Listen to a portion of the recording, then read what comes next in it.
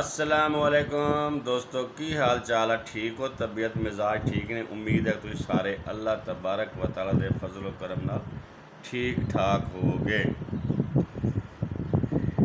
ਹਾਂਜੀ ਜਨਾਬ ਅਸੀਂ ਨਵਾਂ ਵੈਲਾਗ ਸ਼ੁਰੂ ਕਰਨ ਲੱਗੇ ਹਾਂ ਅੱਜ ਤੁਹਾਡੇ ਨਾਲ ਮੁਖਾਤਬ ਹੈਗੇ ਹਾਂ ਤੇ ਦੋਸਤੋ ਇਹ ਹੈ ਮੇਰਾ ਸਟੂਡੀਓ ਗਰੀਬ ਬੰਦਾ ਗਰੀਬ ਦਾ ਸਟੂਡੀਓ ਫਿਰ ਐਵੇਂ ਹੀ ਹੁੰਦਾ ਠੀਕ ਹੈ ਨਾ ਇੱਥੇ ਬਹਿ ਕੇ ਮੈਂ ਵੀਡੀਓ ਬਣਾ ਲੈਣਾ ਇੱਥੇ ਰੀਡਿੰਗ ਕਰਨਾ ਇੱਥੇ ਜਿਸ ਟਾਈਮ ਨੂੰ ਨਾ ਕਾਰਡ ਛਾਂਟ ਕਰਕੇ ਤੇ ਤੁਹਾਡੇ ਸਾਹਮਣੇ ਪੇਸ਼ ਕਰਦਾ।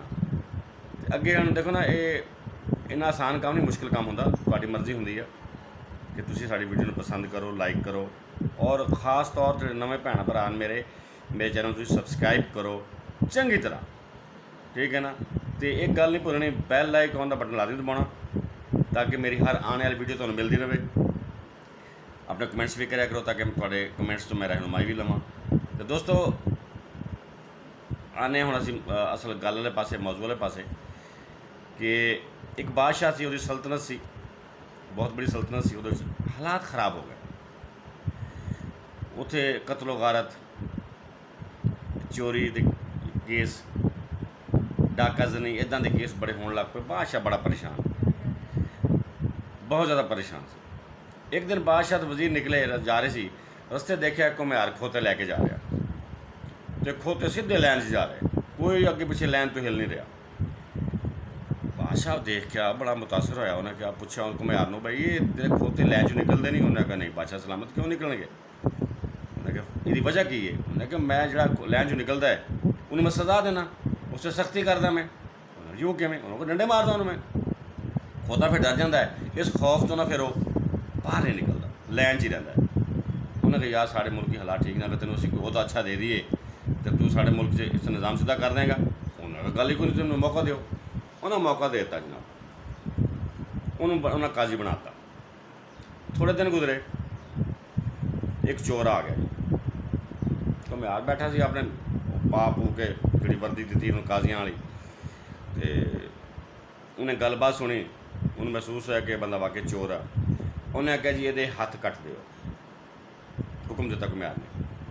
ਉਸ ਟਾਈਮ ਤੇ ਕਾਜ਼ੀ ਸੀ ਘੁਮਿਆਰ ਤੇ ਨਹੀਂ ਸੀ ਨਾ ਇੱਕ ਬੰਦਾ ਆਇਆ ਉਹਦੇ ਕੰਨ ਚ ਗਿਆ ਉਹਨੇ ਕਾਜ਼ੀ ਸਾਹਿਬ ਇਹ ਵਜ਼ੀਰ ਸਾਹਿਬ ਦਾ ਖਾਸ ਬੰਦਾ ਹੈ ਠੀਕ ਹੈ ਨਾ ਇਹਨੂੰ ਛੱਡ ਦੇ ਇਹਨੂੰ ਸਜ਼ਾ ਨਾ ਦੇ ਕੁਝ ਮਿਹਰਬਾਨੀ ਕਰ ਇਹਨੂੰ ਕੋਈ ਹੋਰ ਜੀ ਸਜ਼ਾ ਦੇ ਦੇ ਹੱਥ ਕੱਟਣ ਦੀ ਸਜ਼ਾ ਨਾ ਸਜ਼ਾ ਨਾ ਦੇ ਉਹਨੇ ਉਹਦੀ ਗੱਲ ਗੌਰ ਨਾਲ ਸੁਣੀ ਸੁਣ ਸੁਣਾ ਕੇ ਜਦੋਂ ਜਾ ਕੇ ਬੰਦਾ ਬੈਠਾ ਉਹਨੇ ਕਿਹਾ ਜੀ ਮੈਂ ਹੁਕਮ ਦੇਣਾ ਕਿ ਇਸ ਬੰਦੇ ਦਾ ਹੱਥ ਕੱਟ ਦਿਓ ਇਸ ਚੋਰ ਦਾ ਹੱਥ ਕਿਸੇ ਚੋਰੀ ਕੀਤੀ ਹੱਥ ਕੱਟ ਦਿਓ ਇਹ ਜਨਾਬ ਸਾਰੇ ਬੰਦੇ ਜਾਣਦੇ ਸੀ ਉਸ ਚੋਰ ਨੂੰ।